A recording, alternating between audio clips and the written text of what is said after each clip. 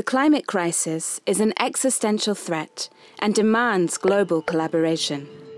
The Paris Agreement of 2015 promised to reduce carbon emissions and try to keep global temperature rise below 2 degrees. Carbon is not the only factor influencing our climate. If we want the planet to cool down, we need to talk about water. As part of the documentary Water is Love, we explore the role of water cycles in making the climate.